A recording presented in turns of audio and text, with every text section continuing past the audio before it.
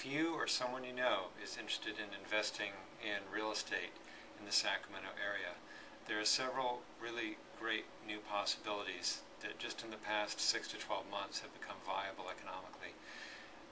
Pre-foreclosure properties and foreclosure properties offer investors opportunities to cash flow if they retain them as rentals or to even repair and resell them, otherwise known as flips, at a significant profit. If you or someone you know would like more information about these opportunities, feel free to call or email me. I'll be glad to help.